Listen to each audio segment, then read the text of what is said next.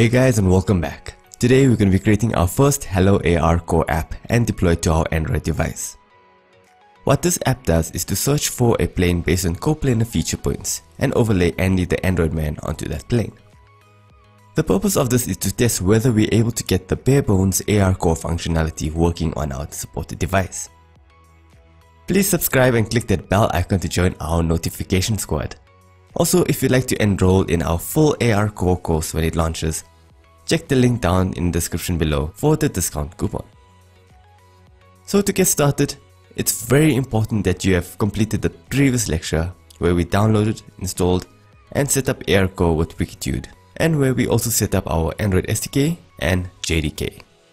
In this lecture, we shall focus purely on AR Core and running the Hello AR Core app. So what you'll need is to ensure that you have downloaded Google AR Core version 1.0 at the time of this recording from the developer website for Unity and make sure that you have the AR Core app installed on your Android device and this you can download from the Play Store. And speaking of device, ensure that you have one of these supported devices. Okay, so open up Unity and create a new project.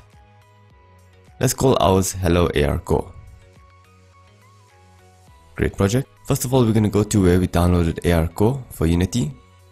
And this is SK, we're going to import it into our assets. Click import. If you haven't downloaded AR Core for Unity, you can go over to this website over here or type AR Core for Unity. Go down over here to SDK for Unity and download it over here. Or you can get it from GitHub. Okay, so in the project tab, go to assets Google AR Core, examples, Hello AR Core, scenes, and drag on the Hello AR scene into our hierarchy. We can remove this original scene from our empty project. Before we can build and run, we need to set up a few things. So go to File, Build Settings, and select Android as our platform. From there we go to player settings. And there's a few things that we'll need to set up over here. So if we start at other settings, disable multi-threaded rendering, changes to our company name, so we're going to put it Augmented startups dot hello AR. We change our minimum API level to 7 because that's the OS that we're running at the moment. And under XR settings, we go to AR Core supported. Okay. Now let's just save our scene. Go back to build settings. Add open scenes. Make sure we're back at Android again. Change our build system to internal. And click development build.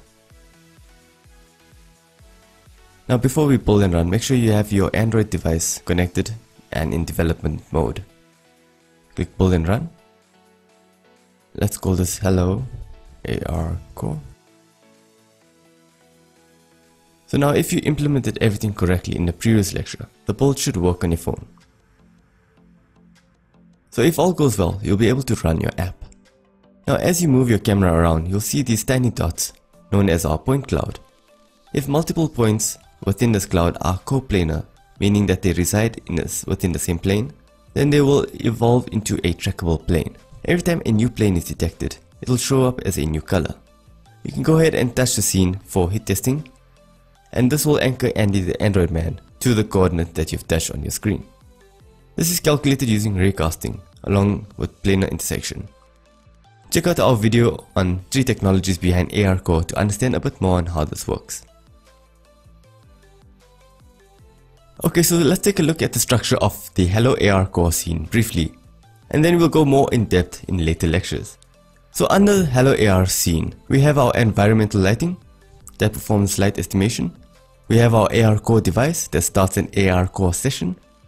A session is a semi-permanent interactive information interchange, also known as a dialogue, a conversation, or meeting between two or more communicating devices, or between a computer and a user. On the first person camera we have two scripts. One is track pose driver, which has a set of settings regarding the pose of your device. And we have ARCore background renderer. This renders your device camera as a background to the attached Unity camera component. Over here we have our canvas, which is an area that all UI elements should be inside. So the canvas is a game object with a canvas component on it, and all UI elements must be children of such a canvas. Over here we have our snack bar, which includes some UI elements. Next we have our example controller. This contains our Hello AR script and takes in the following game objects such as first person camera, tracks our plane prefabs, as well as Andy the Android virtual object, and our snack bar UI. We'll delve into the scripts a bit more in a bit. Next we have our point cloud that you have seen in the demo. So those tiny dots that detects features within our scene. It too has a script called point cloud visualizer. And on top of that we have our event system which tells Unity what to do if certain events are triggered. So we can go over to our scripts over here in our Hello AR example. With regards to our Hello AR script, let's take a look at the three main scripts which are the Hello AR controller, the point cloud visualizer and track plane visualizer. They are important scripts to go through but we'll deal with them later in this course. So let's first understand what's happening exactly in this app. So we start with Hello AR controller. Let's open it up and it'll open up in Mono Develop.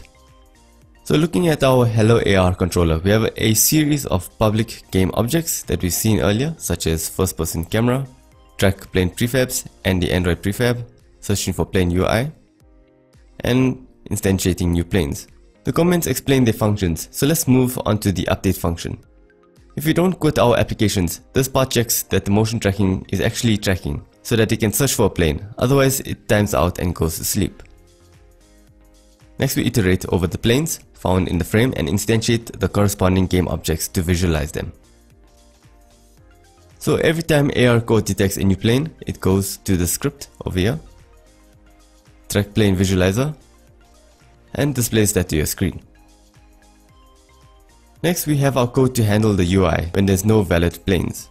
So basically switches the snack bar UI on and off depending on whether we have detected planes or not. Snackbar is a lightweight widget used to show messages at the bottom of the app. Over here we have code for raycasting or hit testing, which essentially means that when you touch your screen, it casts out an imaginary or virtual ray that intersects with the detected plane to get coordinates to anchor Andy to those coordinates. And then there's additional code that handles the transformation of Andy with respect to the camera. And lastly in the script, we have code that handles the event of quitting the applications and other errors. The other two scripts handle the visualization of the point cloud and track planes. You can browse through it and read the comments if you like to go in depth with the code and understand it fundamentally. Essentially they are visualization tools. Okay guys, that is it from me. If you thought this lecture was helpful and interesting, please smash that like button. If you want to see more videos like this, click the subscribe button and that bell icon to get notified before everyone else. Also, if you'd like to enroll in the full AR Core course when it launches, check the link down in the description for the discount coupon. Also, to receive member-only perks, please support us on Patreon. We are also now on Discord if you'd like to chat to us about anything AR or AI. Links are all in the description below. Thank you for watching and we will see you in the next video.